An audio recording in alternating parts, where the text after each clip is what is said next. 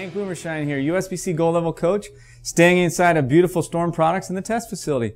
It's something unique today, which we're going to talk a little bit more advanced and things that you need to know as coaches, players, that it really helps you to understand what's going on in your own game, what's going on with your students and players, so that you can really help line them up on the lanes today. I mean, many times in the past we talked about, as coaches, we can't always coach a bad fit. We would create some different uh, reactions in the lane because the fit of the ball wasn't as good. But in the last 10 years, in the last decade, we've really seen that it's really hard to coach bad ball reaction. And what I mean by that is you can have a player that's very physically sound in the way they approach the game, but yet when they have the ball going down the lane, things don't quite match up. They leave an extra 10 pin, maybe the ball, they don't get much room for air. In today's equipment, there's so much more variety and versatility in equipment. So it's a very important factor that we understand the player, the environment, and the ball that they're throwing. It's a huge change that we see in coaching that we really need to understand that. And the most important thing is understanding the player. Like every player has an access point. And what I mean by an access point is we have a track on a bowling ball. So the track on the bowling ball is where the ball first touches the lane and tracks down the lane. But what we have is a point 90 degrees to that was like the axle on a wheel and it's that alignment. So it's your positive access point. It's like your signature. It's like your thumbprint, your fingerprint. It is endemic to you.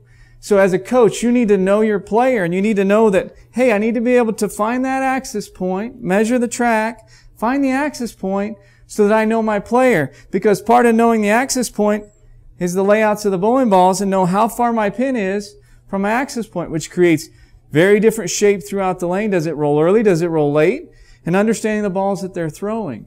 So this segment, we're going to understand mapping out an access point and then taking the player's arsenal that they have, finding some access points on those arsenals, and then lining them up on a couple of different patterns. So stay tuned. It's a lot of good stuff today.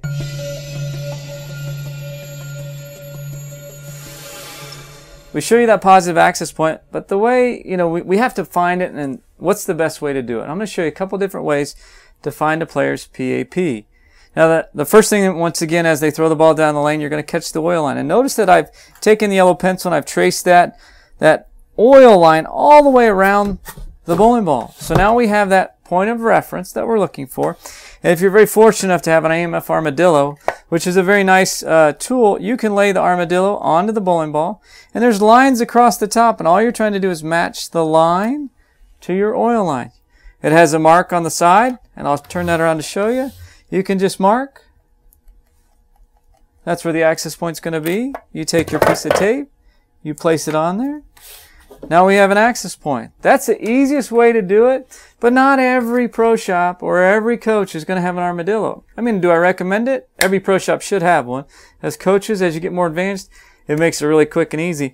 But sometimes we don't have that luxury. So what I tell some coaches is, I tell them if they take a ball cup, a standard ball cup, and they try to get that track exactly parallel to the surface of that ball cup and get it very parallel. If we keep tilting it and turning it till we get it so that it seems very straight, we're going to get that so that it lines up. We're going to get that piece of tape to the top. And that's where we just simply mark it with your pencil and then you put your piece of tape there. So it's one of those things, that's the second way to do it. And if we have the luxury of having a ball spinner, or in this case, an orbital ball ring, we can set that down there if we don't have that piece of tape pre-marked.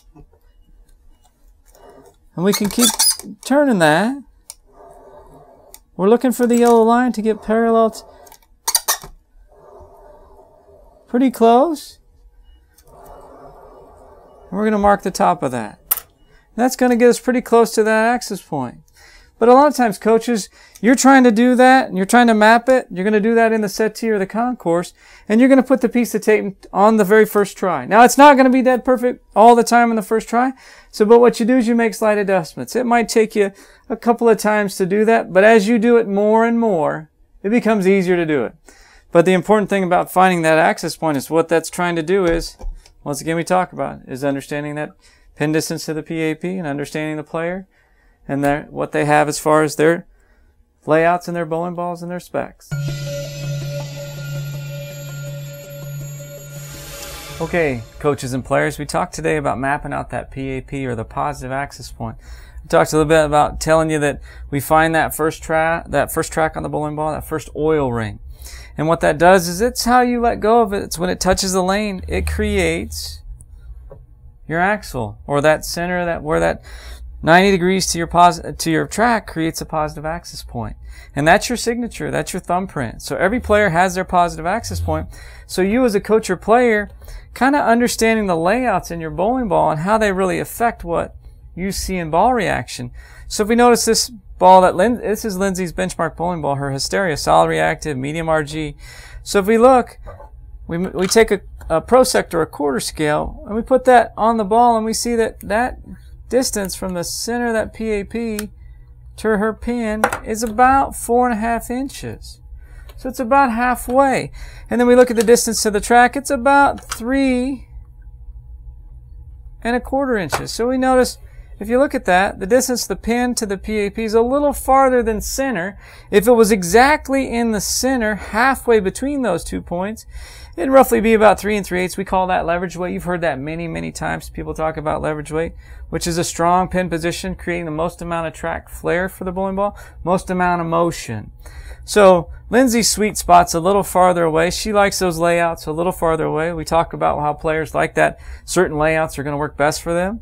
So noticing that as a coach, you're now understanding the distance from that PAP to the pin. So we now we know that this ball should go a little farther down the lane before it starts to create its motion and should still give a strong back end reaction. So you as a coach, if you see a pin really close to that player's PAP, then you understand that that weight block's tilted on its side. So it's tilted on its side. So now as it's rolling down the lane, it doesn't create much flare. It makes very early roll and not much back end reaction. And that might have a specific purpose that a player likes to have control in the back end, but you might see another one where it's very much farther away from the player's axis. It could be up to say six inches from a player's axis. And that creates a lot more length because the weight block now becomes more vertical as it goes down the lane, which makes and creates more length. So half of Mapping out the PAP is first of all understanding the type of player that you have, pin distances, how much uh, tilt and rotation they might have, and those are all things that you can watch and look for. But the thing is, what's the layout they have on their bowling ball? Why does it react the way it does? And sometimes making adjustments to their arsenal to make sure they have all the equipment they need with the right layouts, with the right surfaces to match their game. So understanding that PAP is very important because we need to know why the ball is doing what it does, and what works best for the player.